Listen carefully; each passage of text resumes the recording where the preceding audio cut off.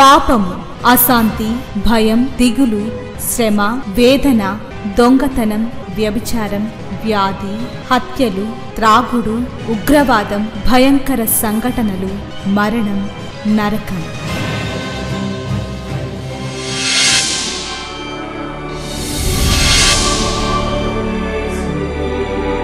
సిలువలోనే పాప క్షమాపణ పరిశుద్ధ జీవితం ప్రేమ వాక్య ధ్యానము నెమ్మది సహవాసం నిత్య జీవం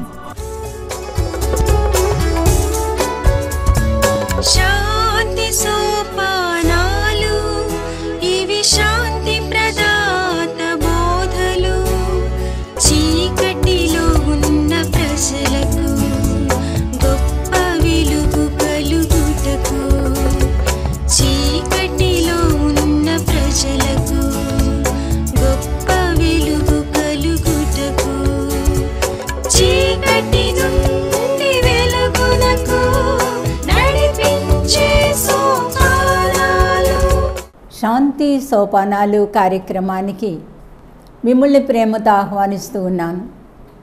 ఈ కార్యక్రమాలు మీ వ్యక్తిగతమైన జీవితానికి చక్కని అవగాహన కలగాలని జీవితం అంటే ఏంటో దేవుడు అంటే ఏంటో తీర్పు అంటే ఏంటో పాప పరిహారం అంటే ఏంటో ఇవన్నీ కూడా మనం అర్థం చేసుకుంటేనే తప్ప ఒక శ్రేష్టమైన భక్తి చేయలేము అని గ్రహించాలని కోరి ప్రార్థిస్తూ ఉన్నాను.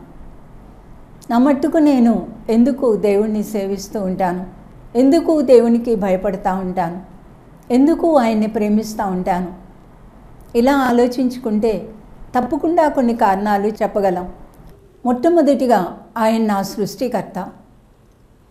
రెండవదిగా ఆయన నేను పొందవలసిన శిక్షను ఆయన పొంది నా ప్రతి దోషానికి అపరాధానికి తెలిసి తెలియక చేసిన ప్రతి అతిక్రమానికి ఆయన పరిహారం చేశారు. మూడవదిగా నాకు ఒక ఆత్మ ఉంది కదా. ఈ ఆత్మ తీర్పులోనికి రాక ఆ శిక్షంతా ఆయన భరించి నాకు స్వేచ్ఛనిచ్చారు. వీటితన్నిటితో కలిపితే ఈ లోకంలో ఎదుర్కొనే ప్రతి సమస్య ప్రతి అనారోగ్యం ప్రతి పరిస్థితి ఆయన ఒక కాపరిగా ఉండి ఆ పరిస్థితులన్నింటినీ కూడా అధిగమించటానికి లేక జయించటానికి ఆయనే సహాయం చేస్తూ ఉన్నారు. జీవితం చాలా విలువైంది. చాలామంది అనుకుంటారు తర్వాత ఏముందో ఎవరు చూశారు? కాబట్టి ఈ లోకంలో తిని త్రాగి చాలా సంతోషంగా ఉంటే చాలు అనుకుంటారు. జీవితం ఇంత మట్టుకే కాదండి. మానవుని యొక్క ఆత్మ దేవుని దగ్గర నుండి వచ్చింది. దేవుడు నిత్యం జీవించే ఆయన నిరంతరం ఆయన అమర్చుడు. ఆయన యుగయుగాలు ఏకరీతిగా ఉండే దేవుడు. కాబట్టి మానవుల్లో ఉన్న ఆత్మకు కూడా మరణం లేదు. ప్రభువారు ఈ లోకంలో ఉన్నప్పుడు ఆయన అంతకుముందు మృతి చెందిన భక్తుల గురించి మాట్లాడుతూ యోహాను సువార్త ఎనిమిదవ అధ్యాయం యాభై ఆరో వచనంలో మీ తండ్రి అయిన అబ్రహాము నా దినము చూతునని మిగుల ఆనందించాను అది చూచి సంతోషించాను. అందుకు యూదులు నీకింకనూ ఏ పది సంవత్సరములైనా లేవే నీవు అబ్రహామును చూచితవాని. ఆయనతో చెప్పగా యేసు అబ్రహాము పుట్టక మునిపే నేను ఉన్నానని మీతో నిశ్చయముగా చెప్తున్నాను ఆయన అనేక సందర్భాల్లో మానవునికి మరణం లేదు అనేది ఈ లోకానికి తెలియచేయటానికి వచ్చారు. మరణాన్ని తప్పించుకునే మార్గాన్ని చూపించటానికి ఈ లోకానికి వచ్చారు. శిక్షలోకి తీర్పులోనికి వెళ్ళకుండా దేవుని దగ్గరకు వెళ్ళే మార్గాన్ని చూపించటానికి వచ్చారు. మానవ జీవితాన్ని గురించి మనం తెలుసుకోవాల్సిన కొన్ని సత్యాలు ఈరోజు మనం ముచ్చటించుకుందాం. పాప పరిహారం కొరకు అనేక సార్లు మనం బలులు అర్పిస్తూ ఉంటాం. ఇస్రాయేలీలు కూడా సంవత్సరానికి ఒక్కసారి వాళ్ళ యొక్క ప్రధాన యాజకుడు ఒక కోడెను తీసుకొని ఆ లోపల పరిశుద్ధ స్థలంలోనికి వెళ్ళి తన కొరకు ఇస్రాయిల్ కొరకు బలి అర్పిస్తూ ఉండేవాడు. ఒక గొర్రెపిల్లను తీసుకొని వెళ్ళి బలి అర్పిస్తూ ఉండేవాడు. ఈ మధ్యలో ప్రజలు ఏ పాపం చేసినా వారి యొక్క అపరాధానికి పరిహారార్థ బలిగా గొర్రెలు లేక మేకలు అర్పించబడుతూ ఉండేవి. మనలో కూడా ఎక్కడైనా ఏదైనా దోషం ఉన్నప్పుడు ఏదో కొన్ని చేస్తూ ఉంటాం ఆ దోషం పోవడానికి. బైబిల్ ఈ సత్యాన్ని ఈ రీతిగా వివరిస్తూ ఉంది. హెబ్రిలకు రాయబడిన పత్రిక తొమ్మిదో అధ్యాయం. పంతొమ్మిది ఇరవయో వచనాల నుండి కొన్ని వచనాలు చదవబోతా ఉన్నాను. ధర్మశాస్త్ర ప్రకారము మోషే ప్రతి ఆజ్ఞను ప్రజలతో చెప్పిన తరువాత ఆయన నీళ్ళతోనూ రక్తవర్ణము గల గొర్రెబొచ్చుతోనూ ఇస్సోపుతోనూ కోడెల యొక్కయు మేకల యొక్క రక్తము తీసుకొని దేవుడు మీ కొరకు విధించిన నిబంధన రక్తమిదే అని చెప్పుచు గ్రంథం మీదను ప్రజలందరి మీదను ప్రోక్షించాను. రక్తాన్ని ప్రోక్షిస్తూ ఉండేవాడు. అదే విధముగా గుడారం మీదను సేవా పాత్రలన్నిటి మీదను ఆ రక్తంను ప్రోక్షించాను.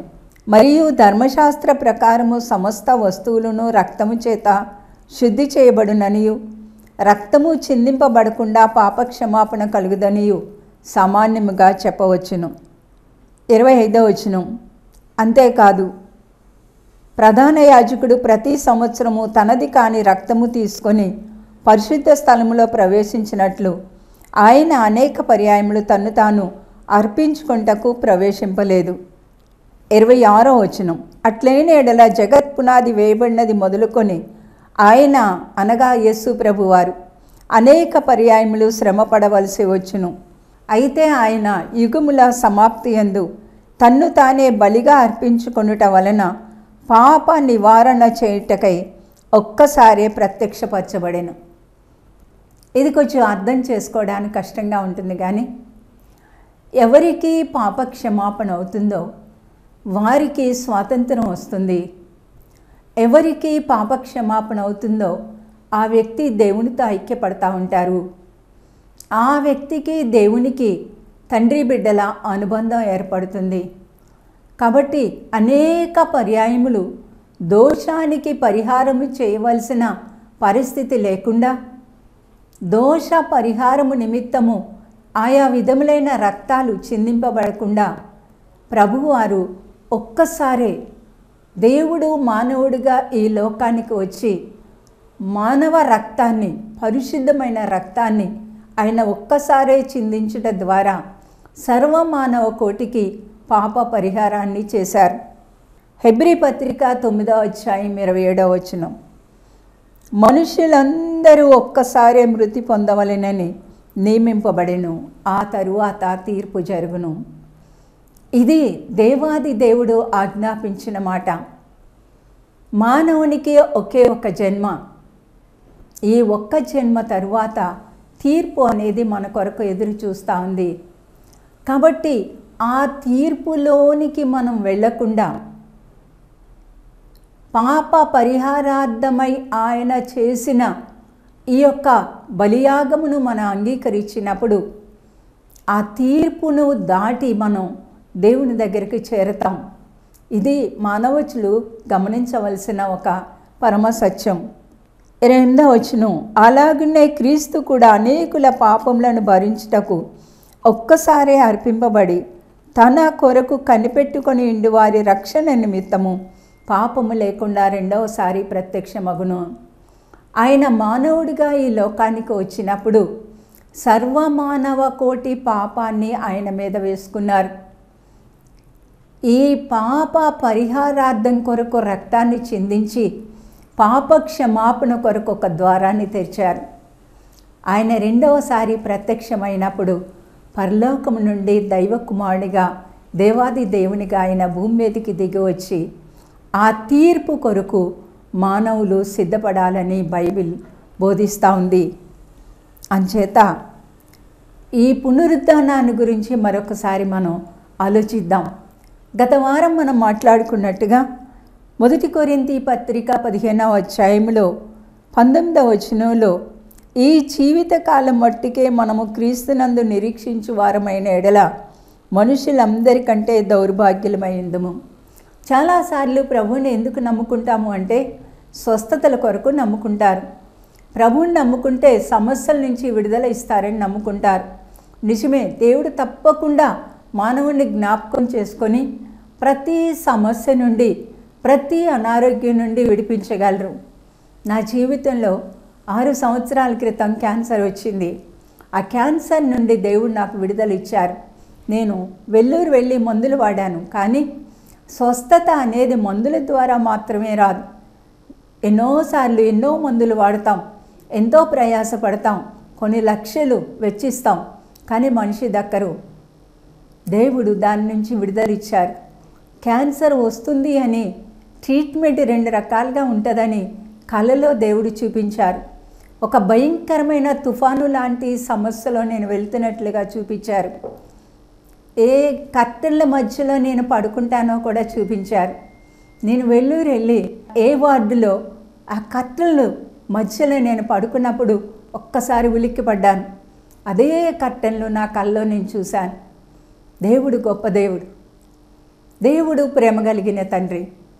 దాని నుంచి నాకు విడుదలనిచ్చారు ఈరోజు ఒక సజీవమైన సాక్షిగా మీ ముందు నేను నిలబడగలుగుతా ఉన్నాను. రెండవదిగా ఒక ఇరవై సంవత్సరాల పైన భయంకరమైన ఆస్తమా రోగిని నేను. ఉబ్బుసం దివారాత్తులు ఊపిరితిత్తుల్లోకి వెళ్ళక చాలా బాధపడేదాన్ని. పుట్టుకతోనే నా ఊపిరితిత్తుల్లో ఒక సమస్యతో పుట్టాను. సంవత్సరానికి రెండు మూడు సార్లు మూడు నాలుగు సార్లు నిమోనియా వ్యాధి వచ్చేది. చాలా బాధపడేదాన్ని. నడవలేక దేకిన రోజులున్నాయి. కానీ ఒకరోజు ప్రభుని అడిగాను ఎందుకు నాకు ఇలాగా? ఎంతకాలం ఇలాగా? అప్పుడు చెప్పారు కొంతకాలం వచ్చుకో నేను తీసేస్తానని. ఈరోజు దేవుడు నాకు ఆరోగ్యం ఇచ్చారు. కొన్ని పరిస్థితుల నుంచి కొన్ని సమస్యల నుంచి నేను వెళ్ళేటప్పుడు ఏంటి ప్రభా ఇంత భయంకరమైన పరిస్థితి? అని అడిగాను. అప్పుడు ఆయన నాకు జవాబు చెప్పారు నువ్వు ఒక సఫరింగ్లో నుంచి వెళ్ళకపోతే ఒక శ్రమ ఒక బాధలో నుంచి వెళ్ళకపోతే నీకు ఇతరుల సమస్యలు అర్థం కాదు. కాబట్టి నేను ఆ సమస్య తీసేసే వరకు కూడా నువ్వు ఈ సమస్యలో నుంచి వెళుతూ ఉండు. ఇప్పుడు ఎవరు ఏ సమస్య చెప్పినా కూడా ఆ సమస్య బాగా అర్థమవుతుంది ఎందుకు అంటే నేను ఆ సమస్యలో నుంచి వెళ్ళాను కాబట్టి. ఈ ప్రతి పరిస్థితిని కూడా అధిగమించటానికి మనకి ఎవరు సహాయం చేస్తారు? దేవుడు సహాయం చేస్తారు. అయితే భక్తి అనేది ఈ జీవిత కాలం వరకు మాత్రమే కాదు.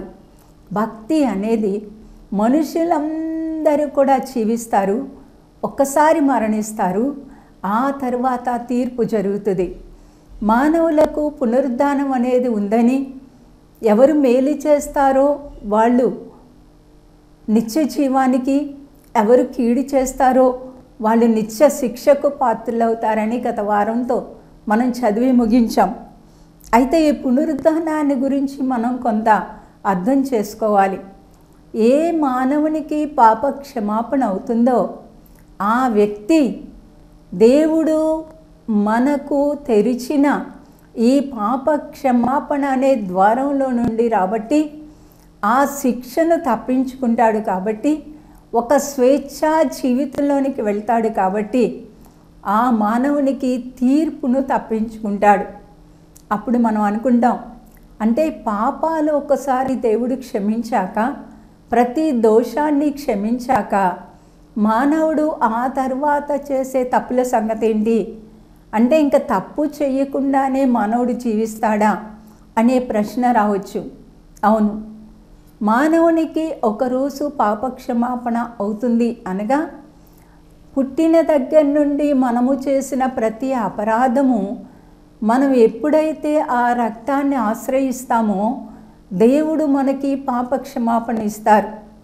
ఆ తర్వాత ఈ శరీరంలో ఉన్న మనం ఇంకా అప్పుడప్పుడు ఏదో లోకాశల్లోనో కోపాలో ద్వేషాల్లో మనం అలాంటి పని చేసినప్పుడు ప్రభు నేను మరలా ఈ పాపం చేశాను.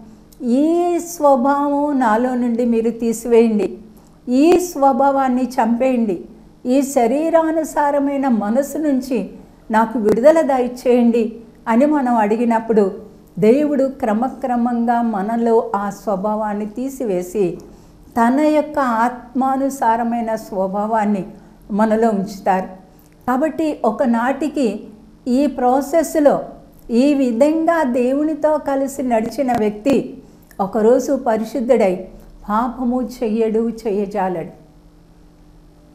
దేవుడు మానవ జీవితాన్ని పట్టించుకుంటారు. ఎంతవరకు పట్టించుకుంటారు? ఒక వ్యక్తి నిత్యత్వంలో చేరే వరకు కూడా పట్టించుకుంటారు. పునరుద్ధానాన్ని గురించి బైబిల్ స్పష్టంగా చెప్తా ఉంది.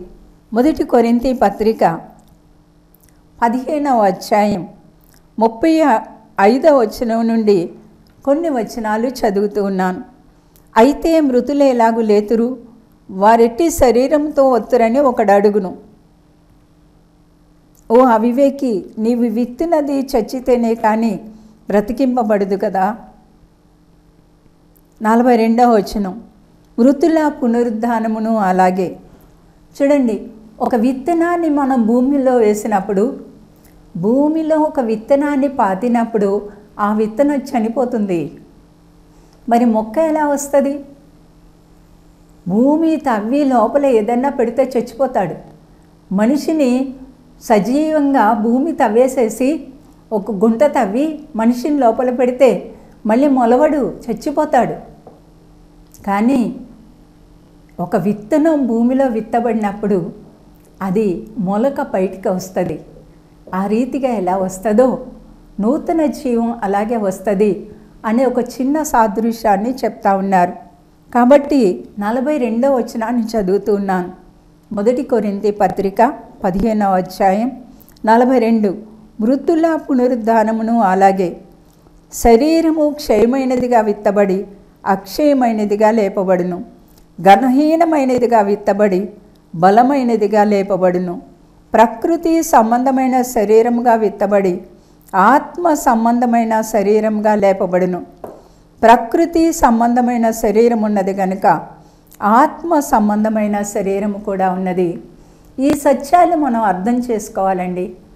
దేవుడు అనగానే మేలు చేస్తారు స్వస్థతలు ఇస్తారు సమస్యలు తీరుస్తారు. అంతటితోనే చాలా వరకు చాలామంది తృప్తి పడిపోతూ ఉన్నారు. ఇది మంచిదే. ఈ జీవితం దేవుని దగ్గర ఎన్ని మేలులు పొందుతున్నామో దేవుని హృదయములో ఉన్న ఆ యొక్క చిత్తాన్ని మనం గ్రహించడానికి మన అందరం కూడా తీర్పుని మరణాన్ని తప్పించుకొని ఆయన దగ్గరకు చేరడానికి దేవుడు మానవుడిగా ఈ లోకానికి వచ్చారు. ప్రకృతి మృతుల పునరుద్ధానము ఏ రీతిగా ఉంది అనేది చెబుతూ శరీరము క్షయమైనదిగా విత్తబడి అక్షయమైనదిగా లేపబడును. యేసు ప్రభు వారి దేహాన్ని మనం చూసినట్లయితే ఆయన ఒక మానవుడిగా ఈ లోకంలో జీవించారు. క్షయమైపోయే శరీరంలో ఆయన జీవించారు. క్షయమైపోయే ఆ సిలువలో వ్రేలాడి శరీరం అంతా గాయాల పాలై ఏమాత్రం కూడా ఏ శక్తి లేక ఆయన మరణ ద్వారంలో నుండి వెళ్ళారు.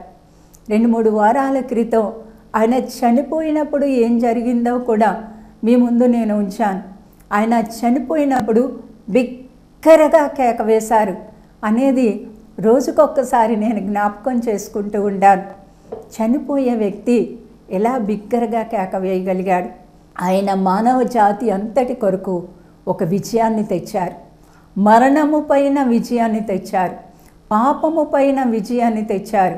మానవుణ్ణి నాశనం చేసే సాతాను పైన వాడి అనుచరుల పైన ఒక విజయాన్ని మన తండ్రిగా మన కొరకు ఆయన సంపాదించారు కాబట్టి ఆయన బిగ్గరగా కేకవేశారు ఆయన యొక్క శరీరము క్షయమైన శరీరముగా విత్తబడి అక్షయమైనదిగా లేచింది. ఆయన మృతులలో నుండి లేచిన తరువాత నలభై దినాలు ఈ లోకంలో అనేకులకు కనిపించినట్లుగా దేవుని యొక్క వాక్యం చెప్తా ఉంది. ఆయన శిష్యులకు పలుమార్లు కనిపించారు. మొట్టమొదటిగా మగ్ధలేనే మరియకు కనిపించారు. ఆయన ఏ రీతిగా పైకి వెళ్ళారు అనేది కూడా లేఖనాలు చెప్తా ఉన్నాయి. రెండవది ఘనహీనమైనదిగా విత్తబడి మహిమ గలదిగా లేపబడును. ఈ శరీరం మట్టి అనేది అందరికీ తెలుసు. మనిషి మూడింటి కలయిక.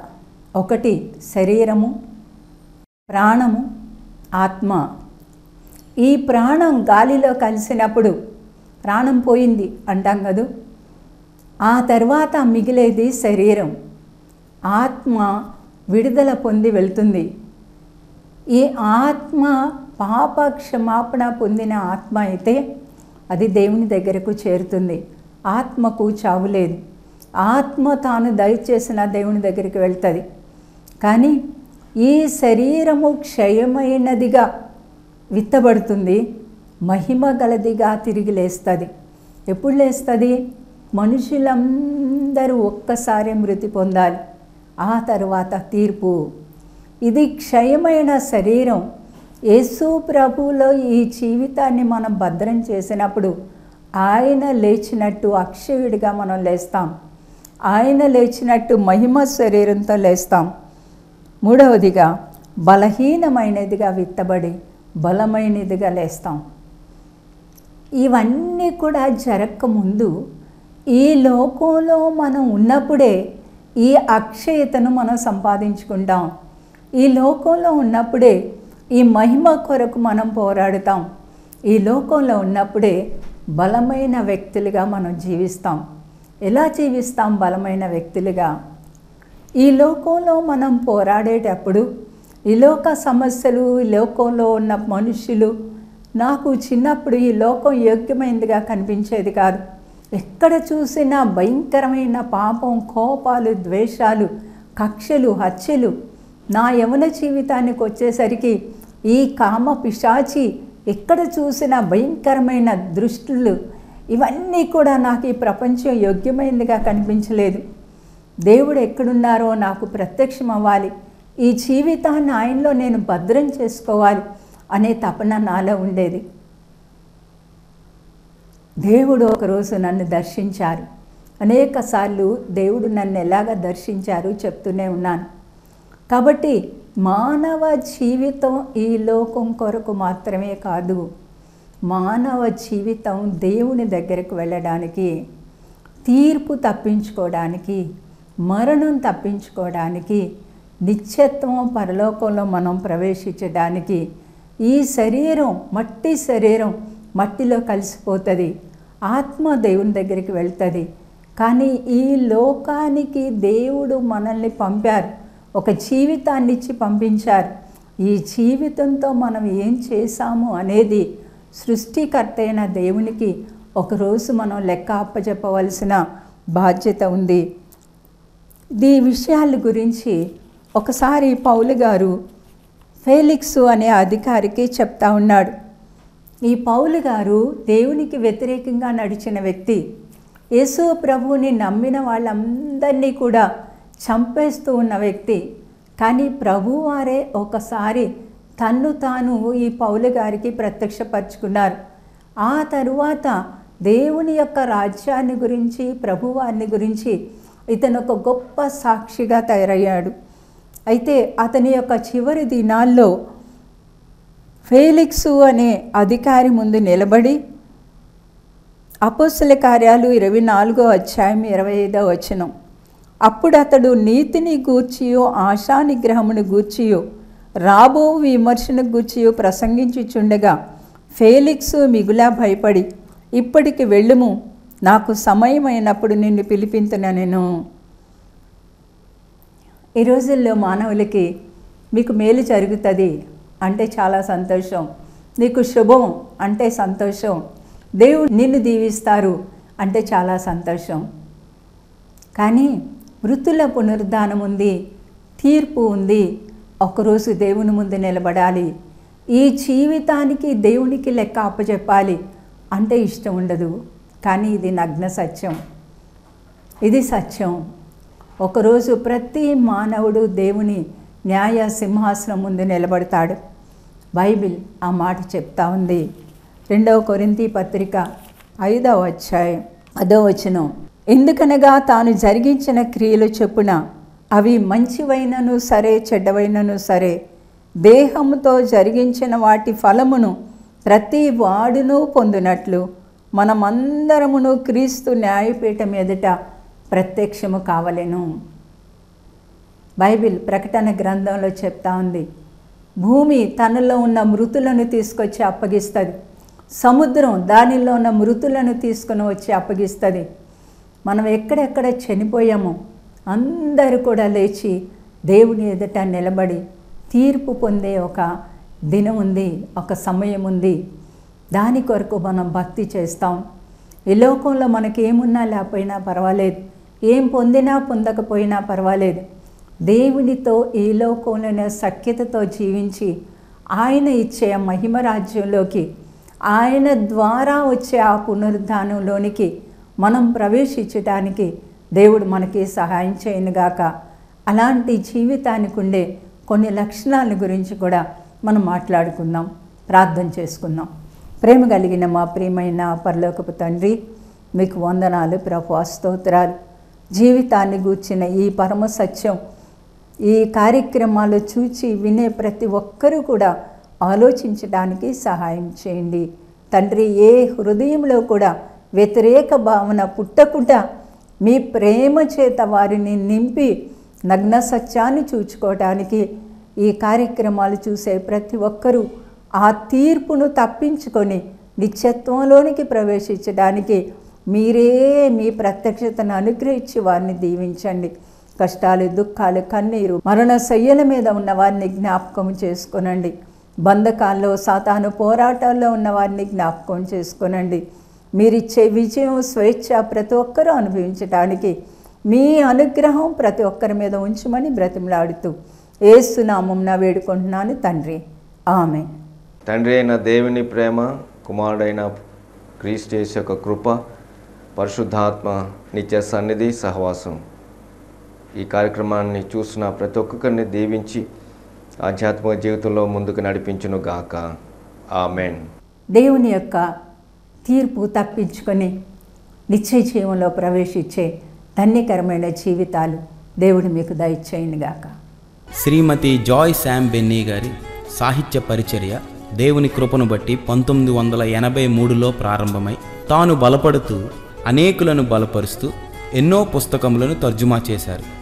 పంతొమ్మిది వందల ఎనభై మూడులో నాలుగవ కోణము మొదటి భాగము వెలుపలకి వచ్చింది. ఆ పిదప వరుసగా జీవిత సమస్యలకు పరిష్కారము ప్రార్థన ఉజ్జీవమునకు తాళపు చెవి నాలుగవ కోణము రెండవ భాగము నేనే ఎందుకు శ్రమపడాలి ప్రార్థన నమూనాలు విశ్వాసములో ముందడుగు పరిశుద్ధాత్మ నా జ్యేష్ఠ భాగ్యస్వామి యేసుతో ప్రార్థించుట అనే పుస్తకములు ఆమె తర్జుమా చేశారు. అంతేకాకుండా ఆమె కలములో నుండి బైబిల్లో ఒక్కొక్క స్త్రీని జ్ఞాపకము చేస్తూ బాధల్లోనూ అనారోగ్యంలో కృంగిపోకుండా ధైర్యంతో విజయవంతముగా దేవుని కొరకు నిలబడుతూ అనేక పుస్తకములు రచించారు. ప్రభు కొరకు ప్రకాశించిన వనితలు విప్లవ వనితలు ప్రార్థనా వనితలు సాహస వనితలు విశ్వాస వనితలు మొదటి భాగము రెండవ భాగము ఆదర్శ వనితలు. స్తుతి జోల క్రిస్మస్ ఎలా వచ్చింది? మరియు చిన్నారులకు యవనస్తులకు నాటిక పుస్తకములు నాలుగు భాగములు. ప్రార్థన ఎలా చేసుకోవాలి? తమ స్థానమును కోల్పోయిన వనితలు మన దేశములో నమ్మకమైన పరిచర్య చేసిన అనేక మంది మిషనరీ జీవిత చరిత్రలను ఉద్దేశించి రచింపబడిన మిషన్ ధ్యానములు ఇవి తెలుగులోను ఇంగ్లీష్లోను మీకు లభించును. ఈ పుస్తకములన్నీ క్రైస్తవ బుక్ స్టాల్స్లో లభించును. వీటిని చదివి మీరు ఆత్మీయంగా బలపడాలని ఆశిస్తున్నాము. ఆయన చిత్తము జరిగిద్దాం ఆయన విజయం సాధిద్దాం. Let His will be done, let His victory be won. My address Srimati Joy Sam Benny, 1 146, Emmanuel Church, S. Achtapuram, Kakinada 4. My phone number 944-010-9893 మరియు 0884 237 6793 మరలా ఇదే సమయానికి ఇదే ఛానల్లో మనం కలుసుకుందాం. Thank you